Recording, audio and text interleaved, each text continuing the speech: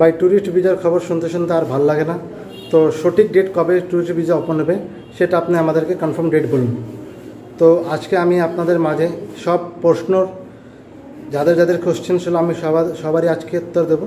Shortcut একটা video তো আশা করি আপনারা সবাই আমার এই ভিডিওর সাথে থাকবেন এবং সবারই সকল কোশ্চেনের আনসারও পেয়ে যাবেন।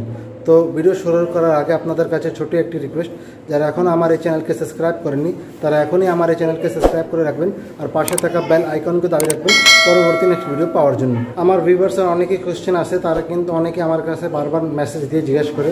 তো আজকে আমি আপনাদের মাঝে সবারই কোয়েশ্চেন নিয়ে ছোট একটি ভিডিওর মাঝে আপনাদেরকে সকলে সব ইনফরমেশন দেওয়ার চেষ্টা করব। আশা করি সবাই আমার এই চ্যানেলের সাথে থাকবেন এবং ওই ভিডিওটা পুরো শেষ পর্যন্ত দেখলে আশা করি আপনারা সকল সকলের কোশ্চেনের আনসারও পেয়ে যাবেন। তো ভিভার্স আপনারা কিন্তু সকলে জানেন কি ভারত সরকার খুব শিগগিরই তারা কিন্তু তাদের ট্যুরিস্ট ভিসা নিয়ে একটা ঘোষণা করতে যাবে। কিন্তু সঠিক ডেট কিন্তু কারোর জানা নয় কিন্তু আমরা সব পর্যটক ভাইরা কিন্তু এটা নিশ্চিত যে কি, যে খুব শিগগিরই একটা আমরা ভারতের একটা অ্যানাউন্সমেন্ট বা ব্রেকিং নিউজ পেয়ে যাব যে কবে, লাগাত তারিখ থেকে আমরা নগদের ট্যুরিস্ট ভিসা পেয়ে যাব। আর আজকে আমি আপনাদের সবাই কিন্তু কোশ্চেনের আনসার দেব। অনেকে আমার কাছে জিজ্ঞাসা করেন কি, ভাই, আগে শুনলাম অক্টোবর মাস- কি না ট্যুরিস্ট ভিসা চালু হয়ে যাবে? এখন শুনি শীতের আগে। তো ভাই, আমি আপনাদেরকে বলি, শীত কিন্তু নভেম্বর মাসে কিন্তু চালু হয়ে যায়। আর নভেম্বরের শীত, নভেম্বর আগে কিন্তু অক্টোবর হয়। মানে শীতের আগে কিন্তু অক্টোবর মাস। তো আমি সবার আগে কিন্তু ভিডিওতে বলেছিলাম যে অক্টোবর মাসে কিন্তু তারা ঘোষণা করে দেবে এবং ভারতের হাই কমিশনও কিন্তু এটা বলেছিলেন কি তারা অক্টোবর মাসেই ঘোষণা করে দেবে। কিন্তু ডেট এখনও কিন্তু শিডিউল হয়নি। কারণ তারা আপনারা সবাই জানেন, তারা এটা নিয়ে অনেক লং একটা প্রসেস আছে। তারা সব কিছু স্বাস্থ্যবিধি মেনশন করবে বা এই ট্যুরিস্ট ভিজি ভিসা খোলা দেওয়ার পর আবার কি করোনার সংক্রমণ বাড়বে বা সবাই কি স্বাস্থ্যবিধি মেনে এটাকে চলতে পারবে? তো এই সব নানান বিধি তারা নিয়ে ভাবনা চিন্তা করে কিন্তু তারা ট্যুরিস্ট ভিসা খুলে দেবেন এবং অনেকে আমার কাছে জিজ্ঞাসা করে কি ভাই, আমি তো সিঙ্গেল ডোজ নিয়েছি, এখন কি আমি কি ভারত যেতে পারব? তো আমি আপনাদেরকে বলি, ভারত সরকার কিন্তু এটা সবার প্রথমে কিন্তু আপডেট দিয়ে দিয়েছে বা একটা ঘোষণা করে দিয়েছে যে ট্যুরিস্ট ভিসা পেতে হলে আপনাদেরকে অবশ্যই কিন্তু দুই ডোজ ভ্যাকসিন নিতেই হবে।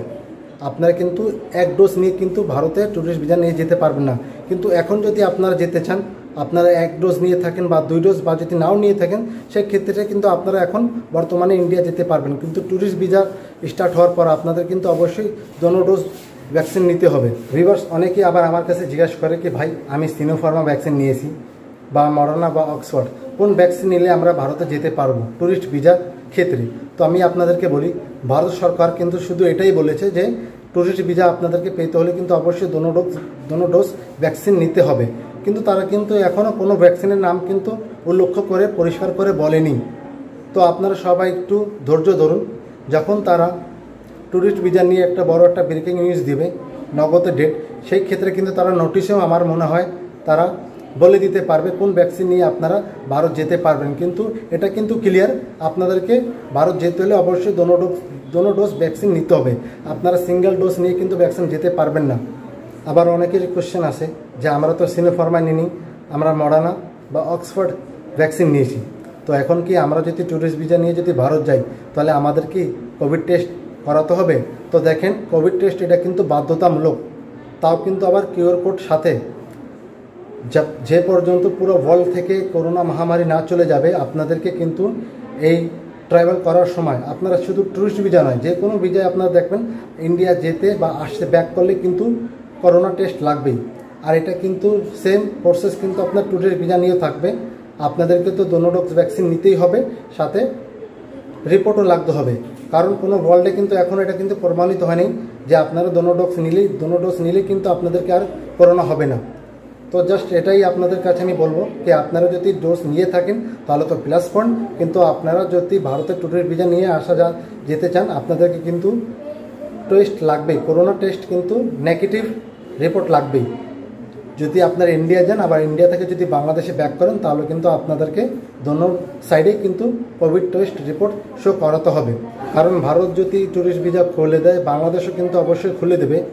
কিন্তু তাও আগে বাংলাদেশ সরকার, ভারত সরকারের কিন্তু স্বাস্থ্যবিধি দেখবে কি তারা যে শিডিউল দিবে, বা সে তারা যে কিছু নিয়ম বাই করবে বা নিয়ম দিবে, সেই সব নিয়ম কি একটু পর্যটকরা কি মেনে নিতে পারে?